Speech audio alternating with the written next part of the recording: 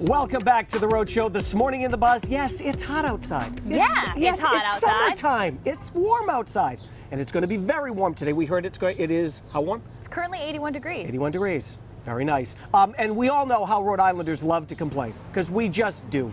That's just what we do. When it's cold out, we complain that, oh my God, it's so cold. Today it's going to be hot. We're complaining, oh my God, it's so hot. So we wanted to know what, you know, how, how Rhode Islanders feel about, about the weather being hot, some of the complaints. I'm a summer guy myself.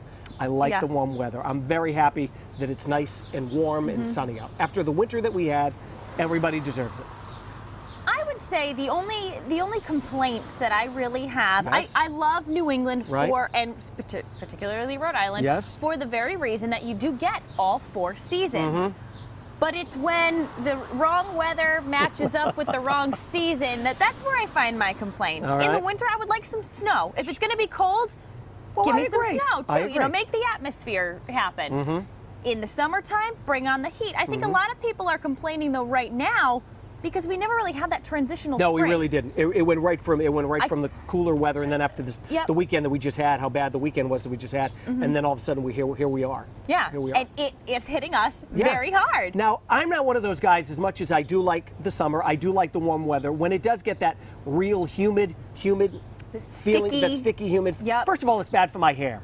First of all, that's that's the problem. First You problem. see how much product this guy uses. Oh my God! When it's humid, look out. Um, but that's the only complaint I have. When it's really humid Mm-hmm. out, that's when I'm, you know, not that much of a fan. But a day like today, so far so good. And that's the thing. You know what? It, embrace it because before you know it, it's gonna Yes. be. Go- I hate to be the bearer of bad news, Yes. but you know it, how how fast things transition here. Summer is, because uh, before you know it, you're going to be thrown on another jacket. Right. Speaking of which, Yes. I can't tell you how many clothes I've had out because I, I'm keeping some winter stuff available. I have some summer things Right. out because I didn't know what to grab. Right. It was changing so drastically. That's another thing. Everybody's packing stuff, unpacking stuff because the weather was Mm-hmm. so miserable over the weekend. It was so cold out over the weekend. All that winter clothes that you may have put away, you were dragging back out again because Yep. you didn't because you needed it. And then today, you're back in shorts, and with any luck, you're heading to the beach today. Oh, hopefully. Hopefully. I, you, you saw my leg warmers Yes. make an appearance, Yes, I uh, did. even up until recently. Yes, I did. But. I know someone who's not wearing leg warmers today. Somebody who got a real sweet gig today, by the way. Yeah, Meaghan Mooney down, enjoying her uh, chowder and clearly some nice weather. Are you Mhm. loving it down there, Meg? I am loving it, Michaela. It is beautiful, but I'll admit I am a complainer when it comes to weather. It could be really hot, and you'll know about it from me, and it could be really cold, that same thing. But I'm here with two great people right now. John, who owns The West, uh, with the chef that we're going to be meeting with later in Ireland.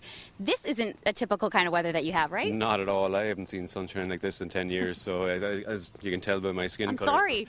yeah, I'm loving it. I'm loving it. I, you won't hear me complain about this type of weather because we just don't get it at home, you know. It's, it's, it's absolutely glorious. What's everybody saying back home then about the weather?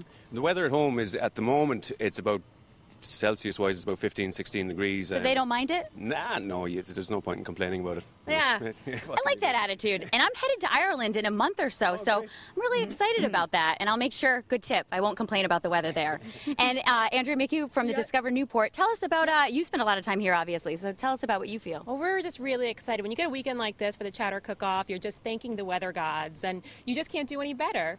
That's very true. And are you somebody who complains or uh, when it gets really cold out? Well, when I first moved to New England, I was reminded of the Mark Twain quote about weather here. Just you wait a minute.